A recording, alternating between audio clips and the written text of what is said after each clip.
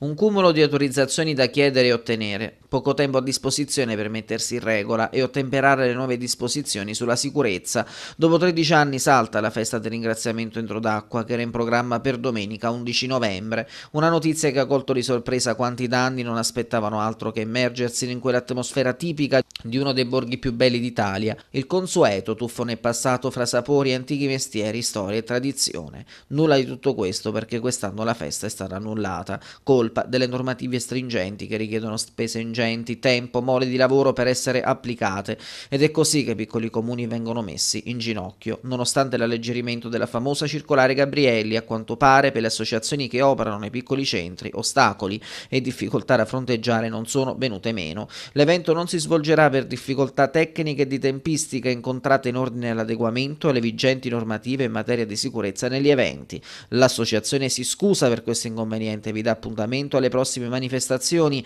hanno fatto sapere da Futura. Un imprevisto dell'ultimo minuto che deve comunque portare gli addetti ai lavori e non solo a una riflessione. L'invito che arriva da qualche componente dell'associazione Futura è quello di radunare le varie associazioni per addivenire a una seria proposta a difesa dei centri più piccoli che non possono seguire la stessa trafila burocratica di eventi e manifestazioni di ampio raggio. La festa del ringraziamento si ferma.